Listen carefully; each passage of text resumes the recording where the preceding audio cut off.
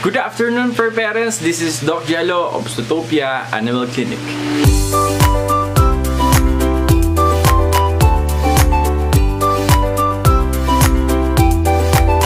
And it's been so long nung ako'y gumawa ng last video ko dahil medyo busy again, again and again. Always busy si Doc Jello. So this video, ah, hindi ako pumasok sa clinic. So nakapambahay lang ako. But uh, gusto ko sanang i-share sa inyo yung update doon sa ginagawang bagong clinic namin. So, puntahan natin at bisitahin natin yung ating mga trabahador at kung ano na yung itsura ng ating pinapagawa. Hindi siya kalayuan, medyo malapit lang siya. Tara, samahan niyo ako. So, dito tayo ngayon sa Zootopia. Ayan. Hi, Doc. Ito na kami dun sa kabila. Basta, Doc. Ay, magbakbak eh. Ayan, doon lang sa kabilang unit yun. Kami eh, ngayon ay nasa Unit 14. Ah, doon lang siya sa kabila. Unit 21 and 22. So, yun. Yung 21, dati siyang dental lang. Ito na ngayon. Pinto niya. Let's go inside. Hello! Nagbablog po ako. Sama ko kayo sa vlog, kuya. Ito ang pinakamagaling. Pinakamagaling naming mayor dito, si Kuya Etoy. Sa mga gusto pong gumawa, magpagawa ng bahay, kung ano man, lahat. Jack of all trades yan. Si Kuya Etoy. Kontakin nyo lang po kami. Ayan, ito yung clinic, yun yung second floor. So, this is dalawang unit. Yan, kabila. Division. Ito yung aming reception dito. Ito, ano lang nakaharang. Ano to? Ang dito kaya ito Scaffolding. Scaffolding. Kasi pinipinturahan nila yung taas. Yes po. Hindi po hindi yung pag... So ito, ang ating mga cabinets na ikakabit sa mga walls. Tapos yun yung aming ah, reception. Kuya, okay lang ba yan? Matibay ba? Kaya naman, kaya. Okay, kaya, kaya. So yun yung reception namin. Tapos dun sa likod, yun yung papuntang comfort room and second floor. Ito naman yung papunta dun sa kabila. So dito basically is our receiving area. Then yung upuan na isa, and dito yung kabila. Ito aircon namin yan. Dalawa yung aircon, pang suporta yung nandun. And then sa kabila, meron ding aircon doon. Ayan. Ang ginagawa ni Kuya Etoy, ang tawag yan ay pag mamasilya. So para yung mga gilid-gilid, pag pininturahan, makinis. Di ba Kuya Etoy? Ang pakinis siya, no? At then, nag-start na sila pinturahan. So, ang ah, color ng ating clinic is basically white. And then may mga mimix lang tayong ibang color, accents. Pero basically, buong clinic is color white para malinis na malinis. So, ayan, may TV din kami. So, ito yung ating mezzanine. At ah, dyan sa taas ng mezzanine is going to be our disease. So, kapag may sakit yung dog, pagkapasok dito, hindi na sila magsistay dyan, kundi didiretso na sila doon sa second floor at doon sila tatambay sa second floor for appointment checkup. So, mawawala na ng contact or wala talagang contact yung may mga may sakit sa wala. Ito sa aming kabila is our examination. Masikip. Yan. Medyo magulo. Nandito lahat ng gamit. Itong area na to from here ay magkakaroon ng salamin, sliding door. This is going to be the examination room 1 kung saan dyan gagawin ang vaccination and other wellness program natin. So, medyo malawak siya. And uh, siguro pag natapos na itong mga pagpipintura ng lahat, saka ilalagay na yung aming salamin. And dito naman sa pinipinturahan ni Kuya ay ang surgery room. So this is going to be the surgery room. Hindi siya ganun ka laki pero compact lang yung kanyang size. Enough for two people and uh, other stuff. Pero okay naman yung size niya for a surgical room. And then doon sa lugar na yon, doon ang papunta sa laboratory. So, lahat ng aming mga machines doon pupunta. Autoclave, CBC, blood chem, centrifuge, microscope, doon ang punta niya. So, yan. And then, doon din yung way na papuntang second floor. Basically, mezzanine din siya. Pero unlike sa kabila na bukas, dito ay sarado. So, wala, empty siya.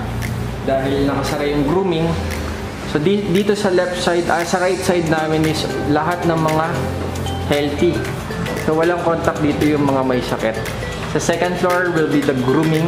Yung third floor nito, yun, sa pinakataas nun, doon sa taas niyan, doon ang aming quarters ng doctors, kusina ng doctors, pahingahan namin lahat ng staff.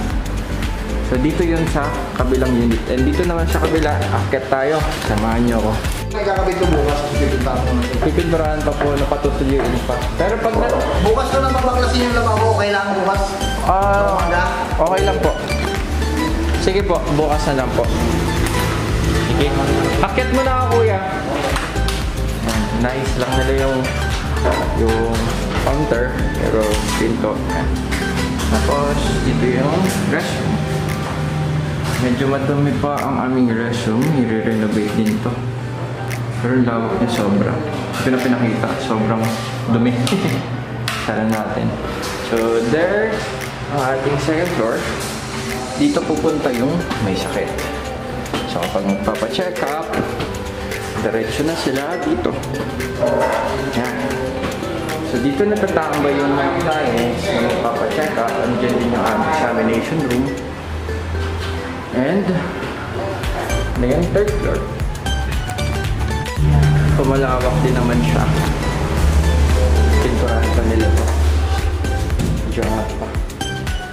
So, kung ilalagay kami ng upuan dyan, ito yung table, cages. Ito basically, kaya open siya, salamin niyang ilalagay dyan. Para kita natin yung nasa baba. Racket tayo, third floor. So, sa aming third floor, this will be the Yeah, sorry, hinihingal ako. This is going to be the x-ray room, itong area. Ka-close nila yan. Magkakaroon ng division dyan. Someday, it is my dream na magkaroon kami ng x-ray room. So, x-ray. Para mas maganda ang pagpanggagamot na magawa namin sa aming mga pasyente. Pagpunta nila, lahat nandito na. Pangarap natin yun. Kaso, Medyo mahal yung x-ray. Mga Around 2 to 3 million ang halaga. Hindi pa kaya ni Doc Jello. Medyo mahal.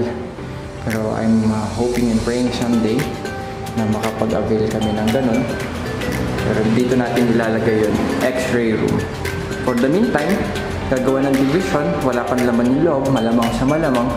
Baka gawin mo ng opisina. Yan, yung table. Baka dito muna ilagay yun. And pwede pahingahan ng, ng namin mga boss o kaya namin mga doktor, yung other staff, pwede yun. And then, dito sa side na to, sa likod, yan. So, open lang yan. Pero, dito ilalagay yung mga retractable na cages namin. This is going to be the confinement area para pag galing doon sa second floor na nagpa-check up, if ever kailangan confine, diretso na agad sila dito. So, bakit open space? Nasa gayoy, magkaroon ng magandang airflow yung ating mga pasyente. And also, kung papansin ninyo mamaya yung uh, location ng aming confinement dito, nandyan yung cages, napagawa na siya. So, idadalhin na lang dito at ikakabit.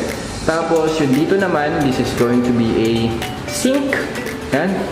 Gagawin na rin yung sink na yun. Baka around next week, start na silang gawin yun. So, sink para yung mga pupo nila ay dito na dadalhin.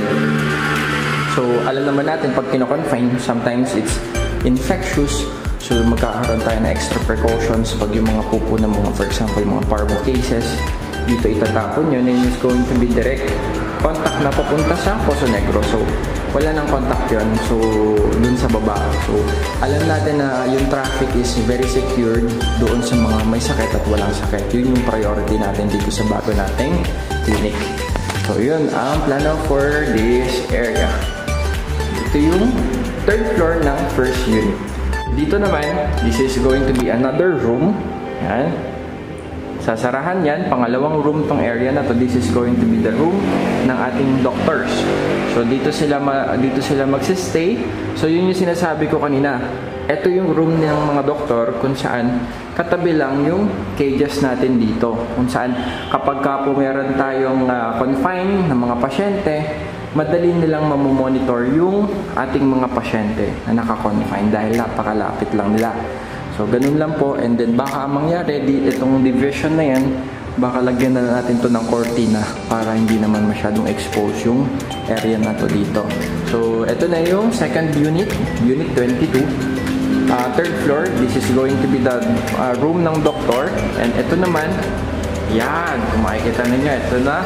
Ito natin lalagay yung ating ano, ating uh, lamesa, tapos lutuan, of course, yung ating staff. This is going to be the pantry. Dito nakalagay lahat ng uh, dito na sila maghugas, dito na kami kakain. So, this is basically the staff area, itong third floor ng second unit. So, puntahan natin yung baba ng second unit natin, which is going to be the grooming. Sa quick review lang, uh, yung first floor, uh, yung first unit, second, starting from second floor hanggang third floor is the infectious area. Ito naman, tong uh, second unit, starting from first floor, second and third, ito third floor kung nasaan ako ngayon, it is going to be the non-infectious kung saan walang contact yung mga may sakit at uh, mga normal or yun na nga, walang sakit na dog. So, second floor niya is the grooming area. Puntahan natin. So here, dito na yung grooming. Kung papansinin nyo, sarado talaga siya, no? Sinara na namin. Pero later on, from here, ayan, hanggang dyan, isasara lahat yan at magkakaroon dito ng pinto. Dahil kapag ka nag-groom, yung mga buhok ng aming mga ginugroom ay sobrang kalat. Lalo pag may hangin, ng blower, kumakalat yun. Kaya ipapasara natin yung buong grooming para hindi siya magkalat ng balahibo ng aso. So tulad dun sa aming Unit 14 kung saan na, nandun yung Zootopia, nakasara na siya. Naka-aircon yung mga na, ginugroom natin. Tapos may heater pag naliligo.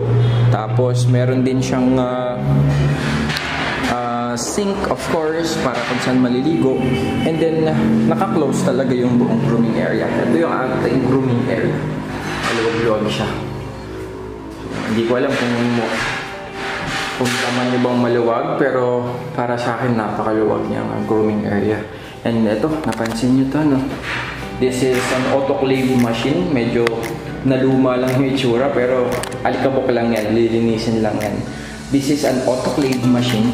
Kaso nga lang, naka ano siya, naka uh, Korean siya. Kasi yung nagbenta sa amin ito, itong dating unit is a dental clinic, so meron siyang autoclave machine. Ang ginagawa ng machine na to is ini-sterilize niya yung mga surgical tools para kapag ka ginamit siya, siguradong walang bacteria yung ating mga surgical tools at steam yung ating mga pasyente. So, ang, ang ginagawa nito ay steam sterilization na tinatawag. So, hindi pala steam yun, uh, pressure. Gumagamit siya ng pressure para mamatay yung bacteria at ma-sterilize.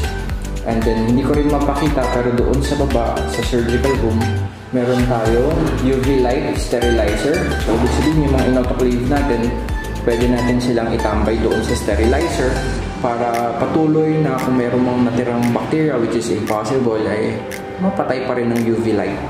So, ito yung gagawin nating grooming area. So, dito natin ipipwesto yung ating heater, dito yung aircon, tulad dun sa kabila, tapos dito yung sink konektado sa baba.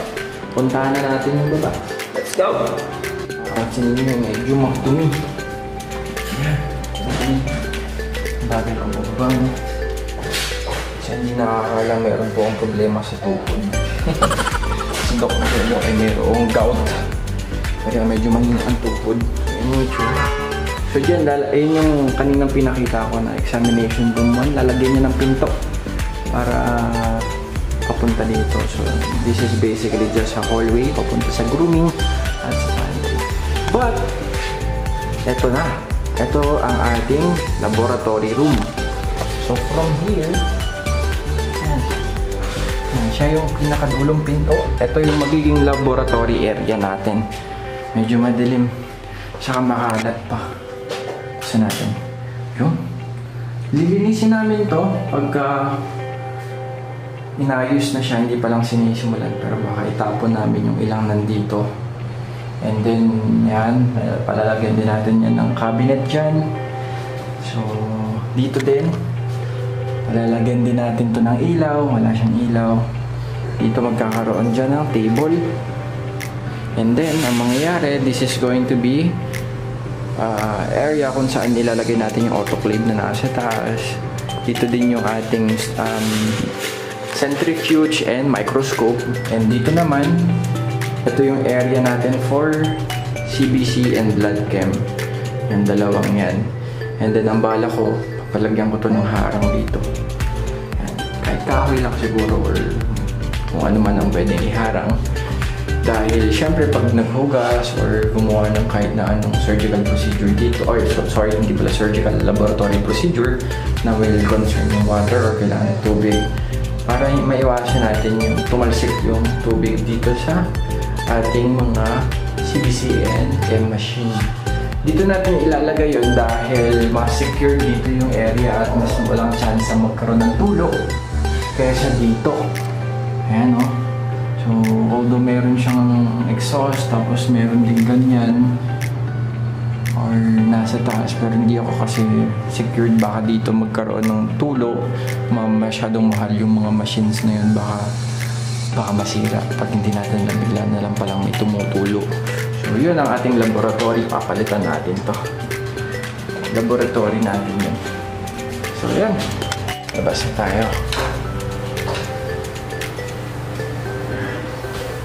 na tayo. So, ang ginagawa nila today ay pagpipintura ng lahat. Binipinturahan nila yung mga dingding, coloring, para mas maging malinis na siya. This kuya, this kuya.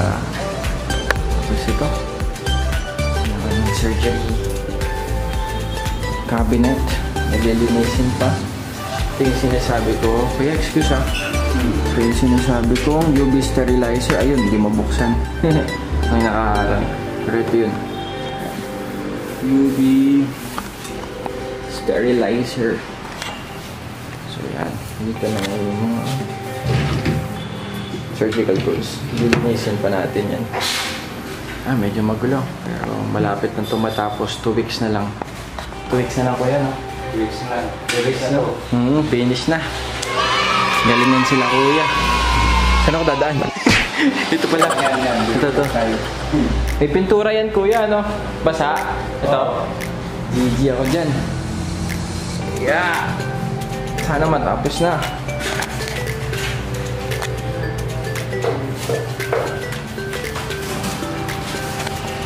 Bu bukas or today, pasar. Bukas or today tayo magpasalamin. Kasi ready na daw sila eh. Next week na. Kung pwede, kung ano, next week na lang para sigurado wala na kami. Wala na dito. Pare, wala na kami dito para sila na lang. Oo, sige sabihin ko na lang po. So yun mga kaibigan. Andito po yung ating ano, ating pinaka-boss. si Pastor Epino. Ayan po. Hello Pastor. So si Pastor Epino po ang aming uh, actually pastor sa aming simbahan. Pero si Pastor din po ang pinaka-boss nila Kuya Etoy, ang ating mayor. So, sa, kaya po nilang gumawa ng bahay, building, ano ba, Pastor? Kahit anong establishmento, may mga gusto kayong ipagawa, pwede nyo po siyang kontakin. Ito yung number ni Pastor, lalagay ko na lang sa screen. Pwede nyo po siyang kontakin para pag meron po kayong gustong ipagawa sa inyong mga bahay or mga businesses, kayang, yeah, stainless lalo. Sila yung, ano, ano tawag doon, Pastor? Mga steel master sila. Gumagawa ng sasakyan yan si Pastor. Di ba, Pastor, yung sarili nyo sasakyan, gawa nyo lang. Pakita ko sa inyo. Si Kuya Etoy, sila yon kayang-kaya nilang gumawa ng kahit na ano. So, just contact si Pastor dito sa number na to if you need ang kanilang serbisyo. Approve. Dito kasi lalabas ang bunga. Apa. Mahigyan ng malinaw. Meron dito yung pinutol na linya. Yeah. Ito.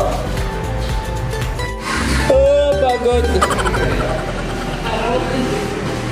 Nasa 9,000 yung materyales ngayong araw, kuya, no? Lahat-lahat, kung nakuha ko lahat, ah, uh, mo ng total ay 1,000, 10,000 400 April. Antiplex ang mauuna. Uh, sabi ko, di, Hinuli nyo na lang yung pinto. uh, bali sa pick lang. Magkano ba kayong isang pinto po? 1,600. Nakamotor lang ako ngayon. Hiniram ng tatay ko yung sasakyan ko eh. Yun yung motor ko. There. That's my motor. Yun yung gamit ko nung college pa ako. Ilang years na yan? Parang 8 years na ata yan. Or 9 years. Okay pa din siya. Paano? Uwi na ako. Bye-bye! Joke lang. Pakita ko sa inyo yung labas. yeah, yung gitna. 180 siya, kuya. Anong gitna ng 188? 92? 92? 94. 98, ah, 94. Kuya, patingin nga ng 94 kung nasaan po. Sige pa, pa, pa ganun po. Kasi yung butas ng counter, Ah, bakit? Bro. igigit na daw eh. Hindi nga yun. Oo, swak lang, swak, swak. Okay na. Uwi na ako, Kuya Etoy. Babay na kayo sa camera. Yan ang itsura pag kompleto yung ilaw. Mas maliwanag, di ba? Bumibili pa ako ng wire bukas. Opo, lilipat yun. Doon kasi padadaanin ng wire, lilipat dito sa kabila. Sa gilid po. Sige po. Bakit kung doon mo patatawirin sa gitna? Okay na. Bye-bye!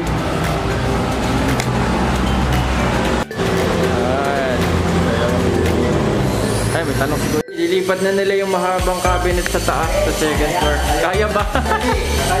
Good luck! Kaya yan! Kaya, makakama eh. O, di ba? Napanood mo na ko yan.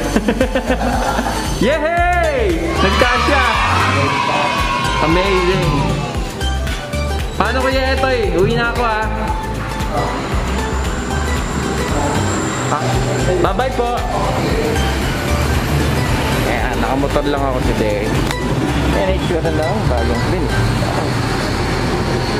Dati siyang dental lab. Papalitan natin yan. Aalisin yan. Tapos maglalagay kami ng signage doon sa harapan. Pabilog. Yung logo ng Zootopia. Ito yung itsura niya. Tapos dito, ito yung itsura niya. Yan. Ano? Bye-bye!